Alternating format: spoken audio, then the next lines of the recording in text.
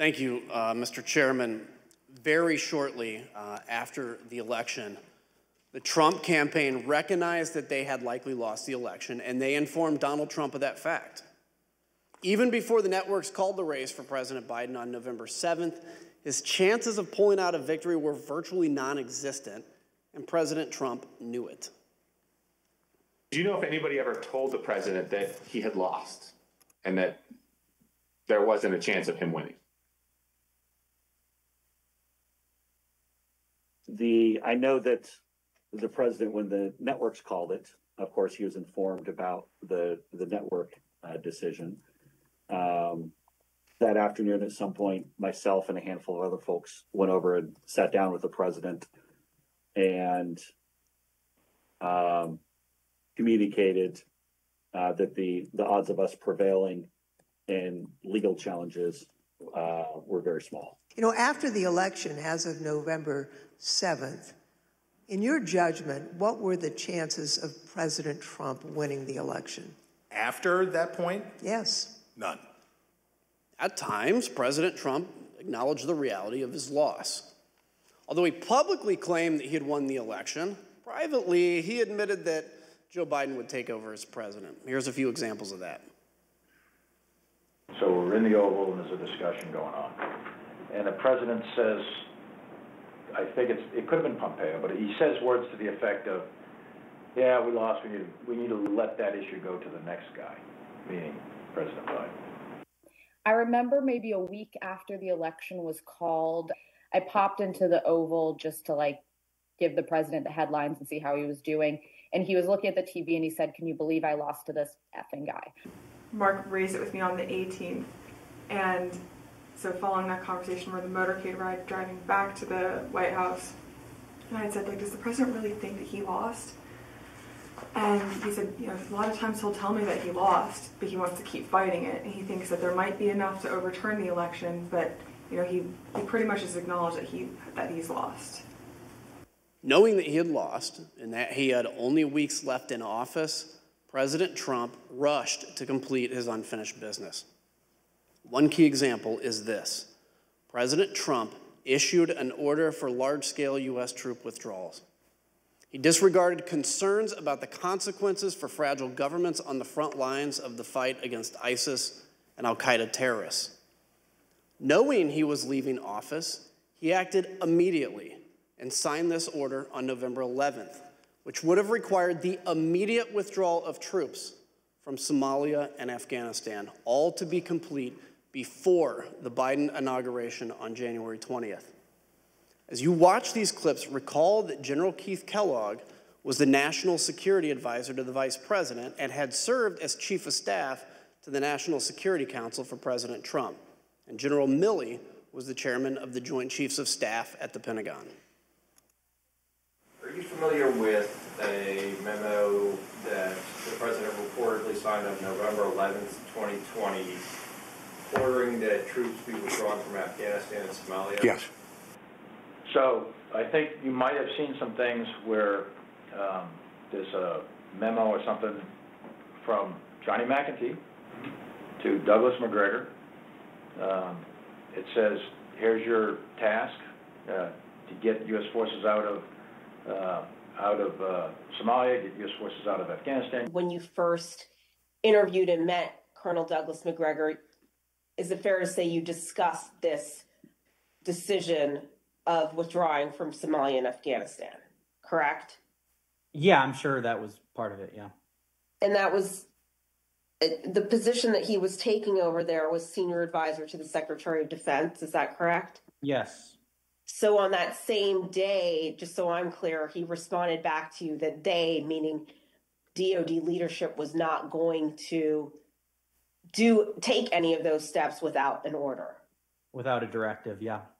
I explained in, in language that should be in the order while I was in the meeting with McEntee. And this was my answer to him. I said, if you want this to happen, or the president wants this to happen, he's got to write an order.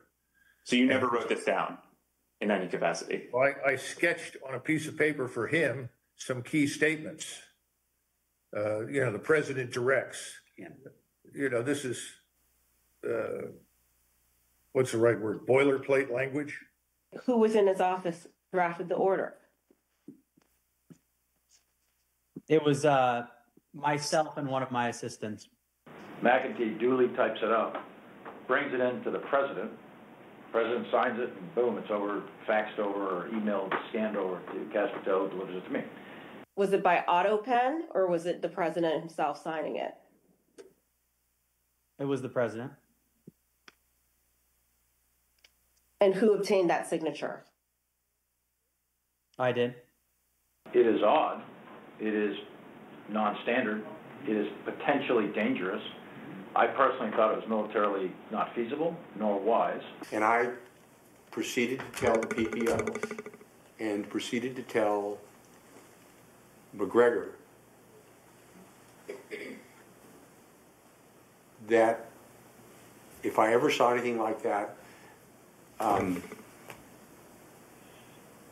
I would do something physical. Because I thought what that was done was a tremendous disservice to the nation. And by the way, that was a very, very contested issue. There were people who did not agree with getting out of Afghanistan. I appreciate their concerns. An immediate de- departure that that memo said would have been a catastrophic. It's the same thing what President Biden went through. It would have been a debacle. Keep in mind, the order was for an immediate withdrawal. It would have been catastrophic, and yet President Trump signed the order.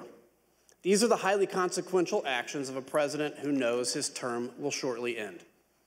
At the same time that President Trump was acknowledging privately that he had lost the election, he was hearing that there was no evidence of fraud or irregularities sufficient to change the outcome. I remember um, a call with uh, Mr. Meadows, where Mr. Meadows was asking me what I was finding and if I was finding anything. And I remember sharing with him that we weren't finding anything that would be sufficient to um, change the results in any of the key states. When was that conversation?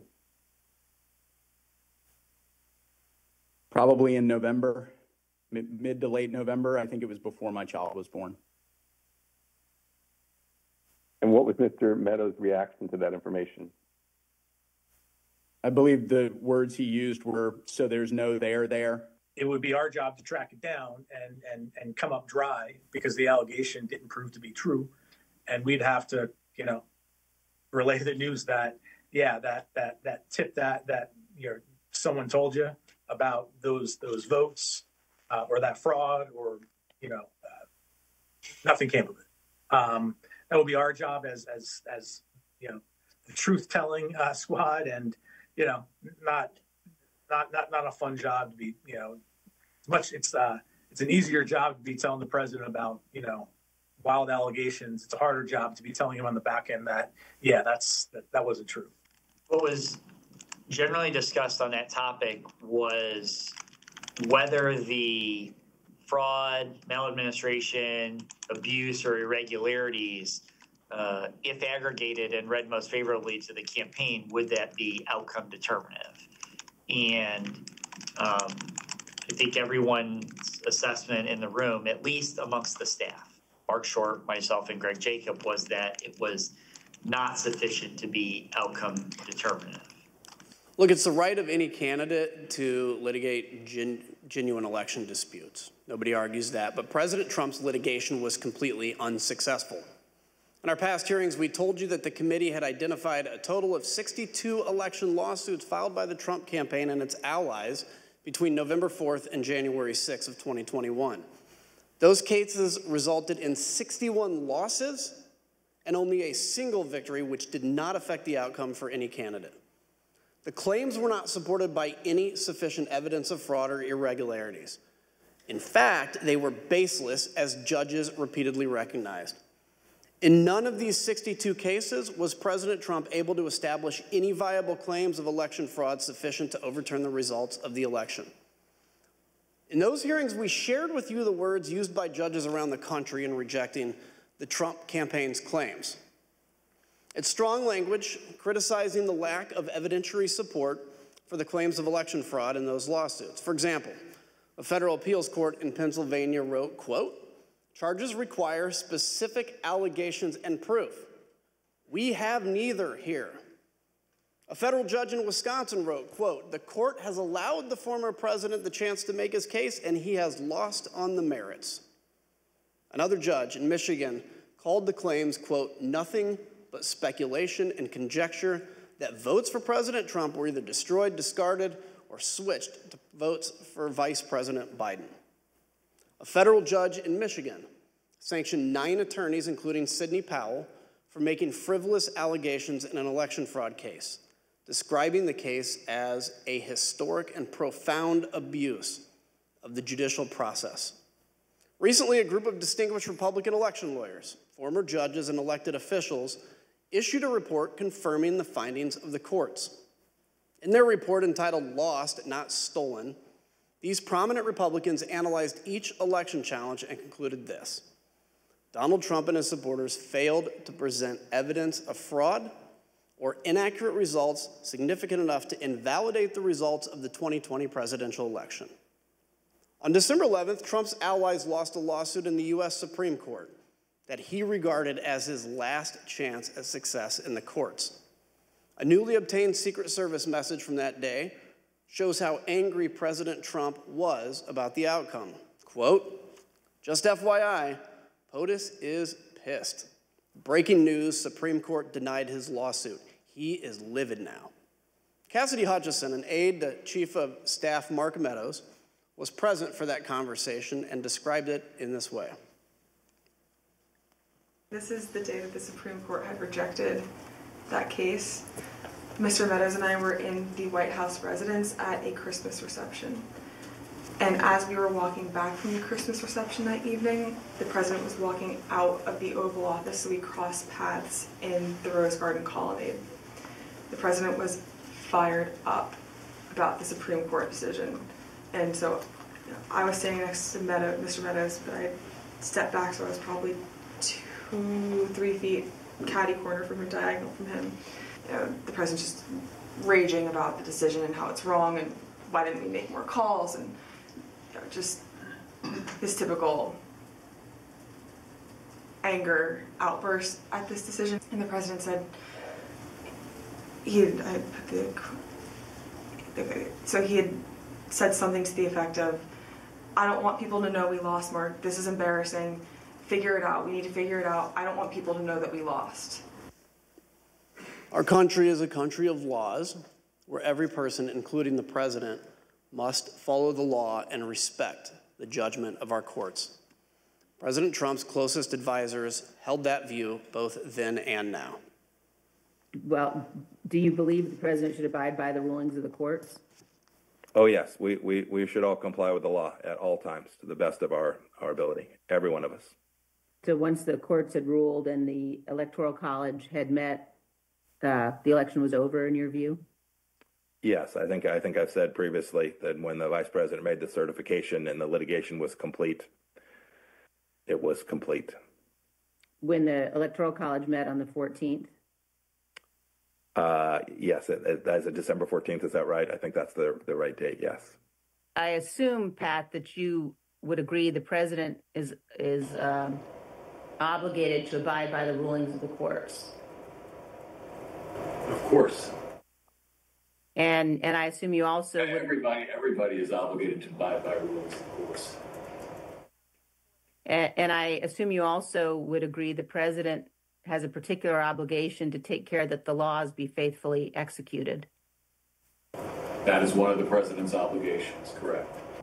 Ivanka, do you do you believe the president's obligated to abide by the rulings of the courts?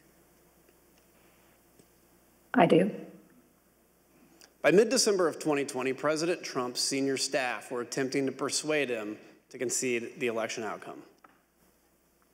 But but if your question is, that I believe he should concede the election at a point in time? Yes, I did. December 14th was the day that the states certified their votes and sent them to Congress. And in my view, that was the end of the matter.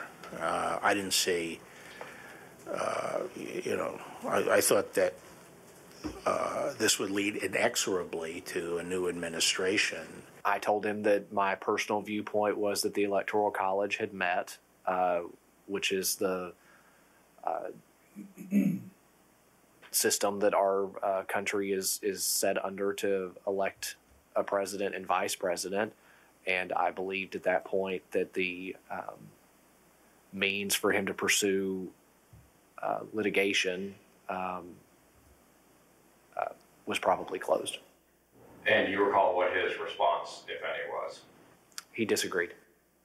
Secretary of Labor Gene Scalia, the son of late Justice Scalia, visited President Trump in mid December and explained the situation clearly.